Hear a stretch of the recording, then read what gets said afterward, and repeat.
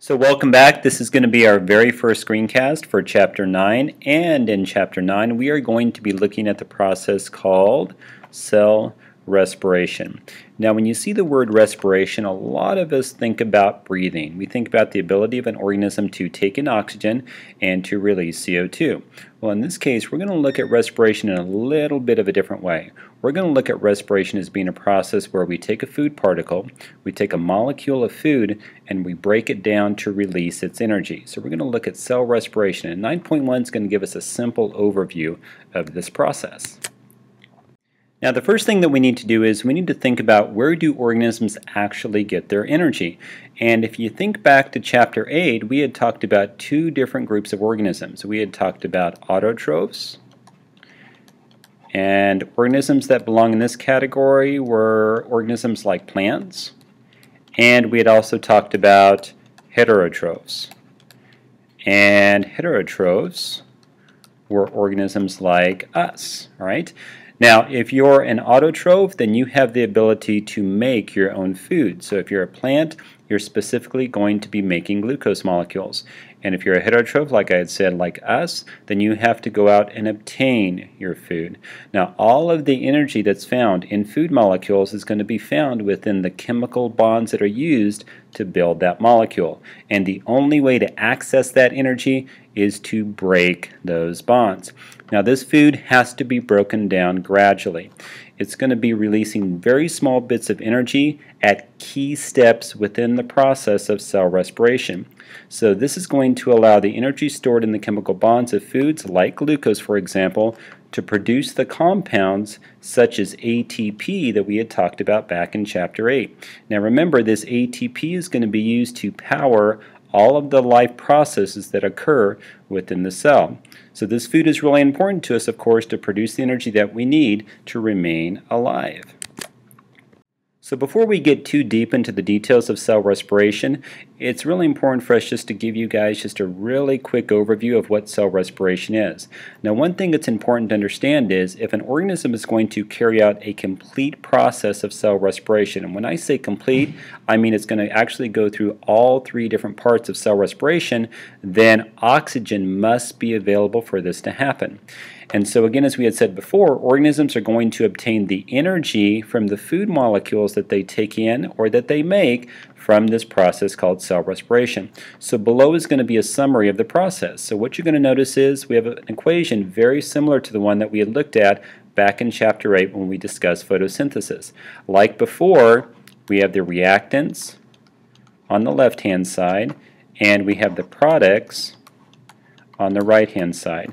Now, if you notice for the reactants, as we had said, if you're carrying out cell respiration, most organisms will need to have a source of oxygen, so we have our O2. Then, of course, the C6H12O6 is going to represent the food molecule, and in this case, specifically glucose. Now, combining the O2, the oxygen, with our food molecule, as you carry out cell respiration, you're going to produce a waste product. So this is going to be our carbon dioxide that you see right here. So this would be the CO2 that we actually breathe out. Um, another product of cell respiration is going to be water. Then of course the product that we're most interested in is going to be the energy that's going to be extracted from that food molecule. So it says the energy must be released a little bit at a time and be controlled by the cell.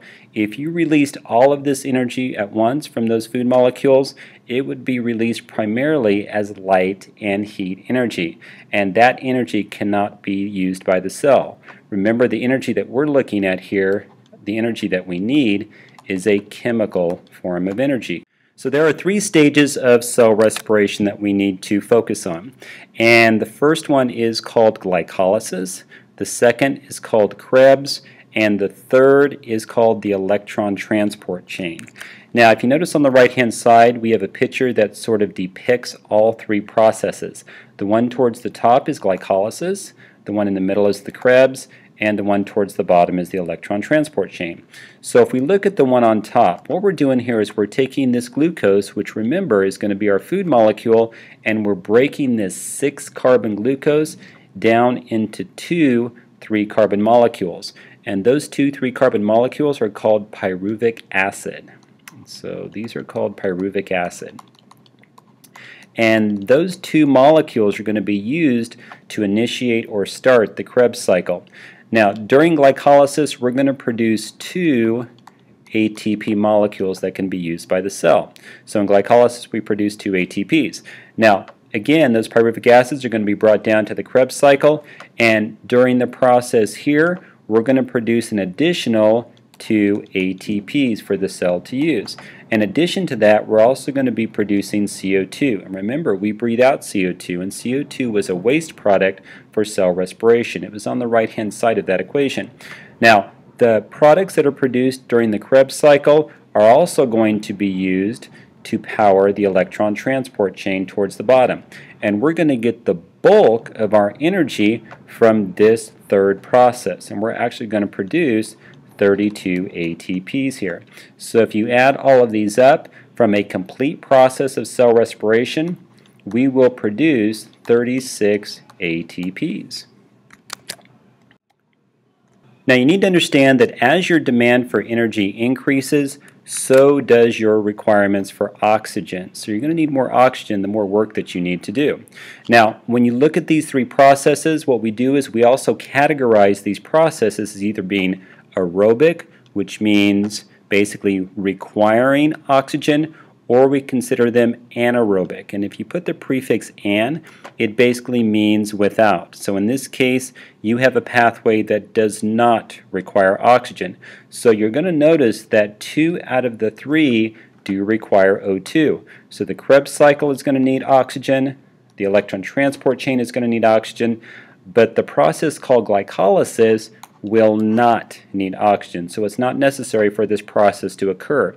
You don't need to have O2 to take glucose and break that down into the two three carbon molecules called pyruvic acid.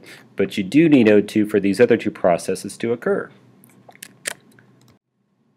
Now back in chapter 7 we had looked at a specific organelle called a mitochondria and what a lot of you had done when you had described the function of a mitochondria you had said that it was considered the powerhouse of the cell. And when you think about powerhouse, you think about something that can be used to produce energy. And of course, in this case, we're talking specifically about a form of chemical energy called ATP. Now, this mitochondrion becomes really important in cell respiration because two out of the three parts of cell respiration occur within the mitochondrion.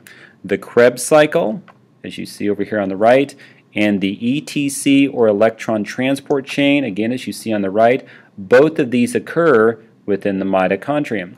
Now when you talk about glycolysis, which is that very first part of cell respiration, this is the one stage that does not occur within the mitochondrion. It actually occurs within the cytoplasm of the cell. So the first initial breakdown of that glucose into those two three carbon molecules called pyruvic acid, that occurs outside of the mitochondrion in the cytoplasm.